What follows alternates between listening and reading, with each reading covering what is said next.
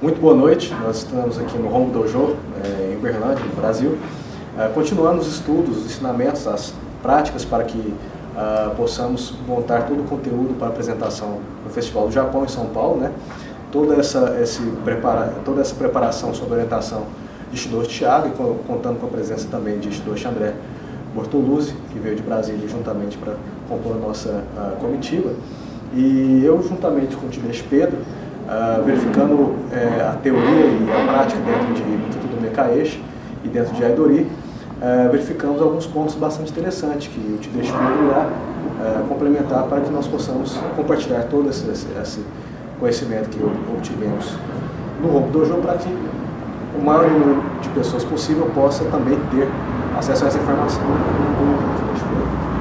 Nós iremos iniciar é, diferenciando Yaidori de é, Todome E no Kitodome Kaesh, nós devolvemos a tentativa dele de interromper o nosso saque, enquanto em Yaidori, nós interrompemos a tentativa dele de sacar.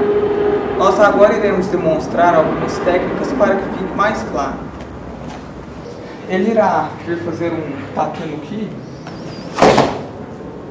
e daqui a uma temir nas costelas, e pode até começar a desestruturar a técnica dele.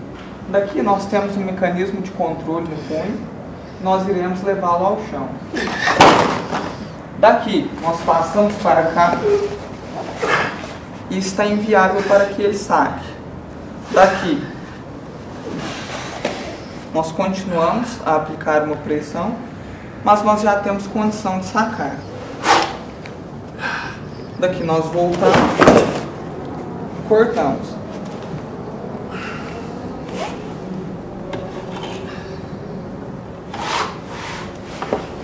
Isso é uma técnica dentro de Yaidori, porque ele tenta realizar um saque, não está tendo que, nós interceptamos o saque dele. Agora, dentro de no Kito do nós iremos ver que ele vou tentar aí fazer um, um Motenuki e ele irá tentar parar a, a minha tentativa de saque em Moro Tecubitori. Daqui, nós desestruturamos ele para um lado daqui rompemos com a pegada. Daqui temos condição de sacar. Encerrando nossa técnica.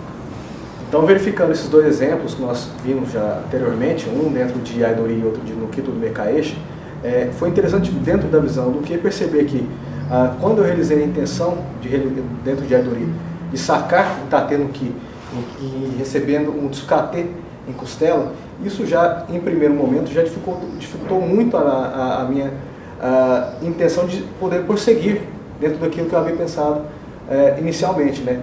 E isso conjuntamente com a série de é, é, pressões é, que ele realizou no braço, controle é, de, de braço e de ombro, costela, na sequência das movimentações que ele fez, realmente limitou muito por dor e também por angulações a minha forma de agir e, e tentar, é, de certa forma, restabelecer dentro das movimentações.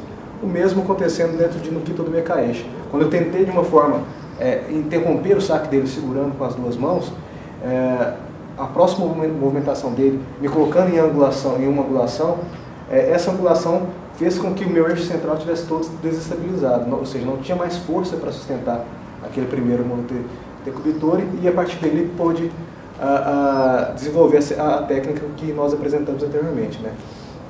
Dessa forma nós agradecemos por mais um vídeo realizado, espero que tenham gostado e aguardem mais notícias, mais informações no Festival do Japão que acontecerá nesse fim de semana e que haverá uma ampla cobertura em nosso, nossa instituição sobre isso. Muito obrigado.